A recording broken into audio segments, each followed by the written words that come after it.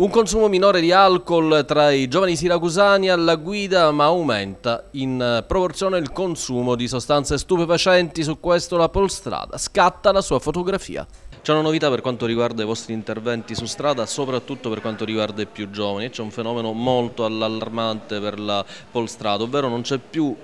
in proporzione un eccesso di consumo di alcol quanto sale piuttosto l'eccesso alla guida di droghe? Beh, direi che c'è un dato positivo e un dato negativo. Il dato positivo è che dopo sette anni di attività svolta congiuntamente al personale dell'ASP abbiamo raggiunto questo grande risultato che è meno alcol. E rispetto a sette anni fa il dato ci conforta, i ragazzi bevono sempre meno o quantomeno dopo aver bevuto designano un guidatore che possa portarli a casa sani e salvi. Il dato negativo, la lettura del dato è che eh, la moderna tecnologia ci consente in maniera molto più semplice, molto più snella attraverso i precursori del drug test e attraverso anche grazie soprattutto all'ausilio del personale medico ed infermieristico dell'ASP di controllare anche le condizioni tossicologiche per quanto riguarda l'assunzione di sostanze stupefacenti e qui il dato come diceva lei prima è un dato un po' allarmante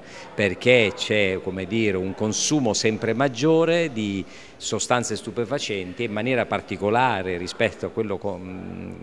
verificato nel corso di tutti i mesi estivi di cannabis e di cocaina.